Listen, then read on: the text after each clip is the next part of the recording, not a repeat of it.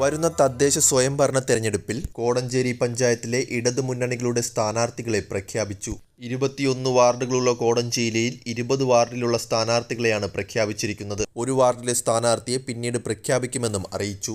ആകെയുള്ള ഇരുപത്തിയൊന്ന് വാർഡിൽ ഇരുപത് വാർഡുകൾ സ്ഥാനാർത്ഥികളായപ്പോൾ പന്ത്രണ്ട് വാർഡുകളിൽ മത്സരിക്കുന്നത് വനിതകളാണ്. ഒൻപതാം വാർഡിലാണ് ഇനി സ്ഥാനാർത്ഥിയെ പ്രഖ്യാപിക്കാനുള്ളത്. വാർഡ് ഒന്നിൽ റോസ്ലി മാത്യു രണ്ടാം വാർഡിൽ അൽഫോൺസ പള്ളിക്കുന്നിൽ മൂന്നാം വാർഡ് ചെമ്പുകടവിൽ അനീഷ വിൽസൺ വാർഡ് നാല് തുഷാരഗിരിയിൽ ജസ്റ്റീന തോമസ് എന്നിവരാണ് സ്ഥാനാർത്ഥികൾ. ആറാം വാർഡ് നെല്ലിപ്പൊയ്കയിൽ പുഷ്പ സുരേന്ദ്രൻ ഏഴാം വാർഡിൽ സിനിയും എട്ടാം വാർഡ് മഞ്ഞുവെയിലിൽ മേരി സ്റ്റാലിനും. വാർഡ് പത്തിൽ വനജ ഉണ്ണികൃഷ്ണൻ വാർഡ് പതിനാല് കരിമ്പാല കുന്നിൽ അനുഷിബു എന്നിവരാണ് മത്സരിക്കുന്ന സ്ത്രീകൾ. ഇടത് പാർട്ടികൾ ഈ തദ്ദേശ തിരഞ്ഞെടുപ്പിൽ കൂടുതലും സ്ത്രീകൾക്കാണ് മുൻഗണന നൽകുന്നത്. തിരുവനന്തപുരം വാർഡിൽ എഴുപത് സ്ഥാനാർത്ഥികളിൽ നാൽപ്പത്തി ആറ് പേരും സ്ത്രീകളായിരുന്നു.